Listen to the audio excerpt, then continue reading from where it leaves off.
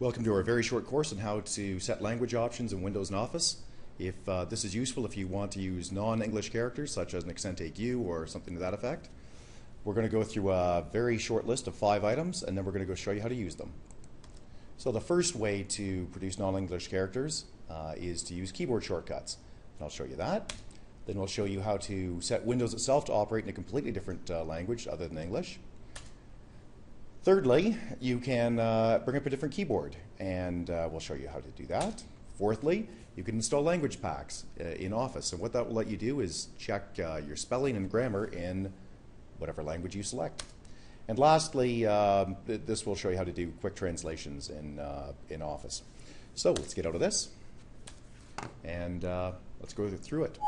So the first thing is keyboard shortcuts. So keyboard shortcuts are pretty straightforward. What you want to do is bring up Word, as an example. So let's say we wanted to produce uh, a Spanish character, which would be the N with the line over top.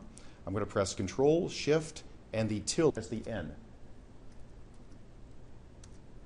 There it is. And um, do it again. There it is, lowercase if I let go. The uh, character's in lowercase. If I press Control, Shift, tilde, and hold it, the key is in uppercase. Uh, let's continue then. Uh, so how you get that, how you get the list that I'm looking at right now, is to do a search in Google for keyboard shortcuts for international characters. The first hit is this. And what I just did was, this is the section I just followed. So Control Shift tilde, tilde is the squiggle in the top left hand corner again. Okay, we can change Windows to Spanish. So let's go on to that. Uh, changing Wind or English or whatever, or sorry, German or whatever other language you want.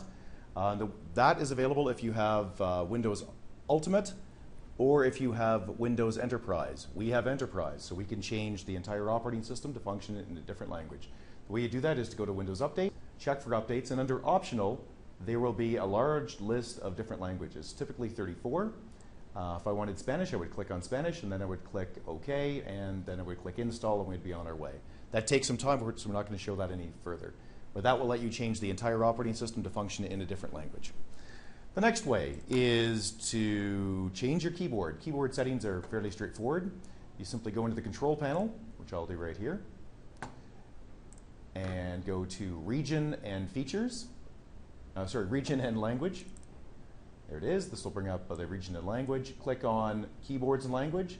Click change keyboard and you can add in whatever you want. I have added in Spanish already. I'll go add something else just for fun. So I'm going to go add uh, Russian. So I'm going to say Russian. There we go. That will install, and then we're on our way. I'm going to remove that because I actually don't want it. And let me show you how that works. If uh, I click on, say, Latin American, which is the one I've installed already, and I click on Properties, it'll give me the keyboard layout that's temporarily available as I'm typing.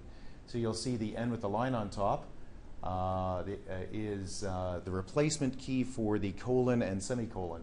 So that is available uh, right there. So let's uh, let's take a look at that. So I'm going to click click out of this. I'll click OK because I'm done, and um, then I'm going to go to Word, and I'm going to go down to the language bar, which I just installed. I'm going to select Spanish. I'm going to start typing, and now I'm going to press the L, and then the key immediately to the right of the L, which in this case, again, is the semicolon and colon. And there it is. I have the N with the line on top.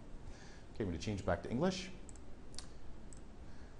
Uh, the next way is to uh, install language packs. Language packs will give you grammar and um, uh, spelling options in uh, the alternate language. Google Language Pack for Office 2007, and uh, the very first hit is the language pack for Office 2007. You can see the number of languages that are included in here, include everything from Arabic to Dutch to whatever else.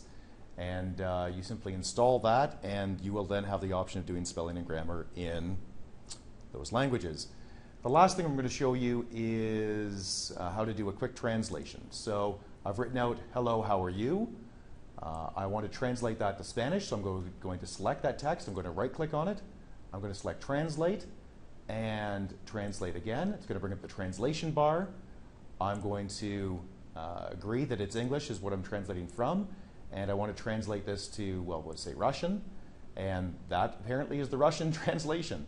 Uh, for the sake of uh, clarity, because more people speak Spanish than Russian that, uh, that I know, I'm going to select Spanish, and then I'm going to select Insert, and that apparently is the Spanish for Hello, how are you? And that concludes our course. If you have any questions, please get a hold of me. Thank you.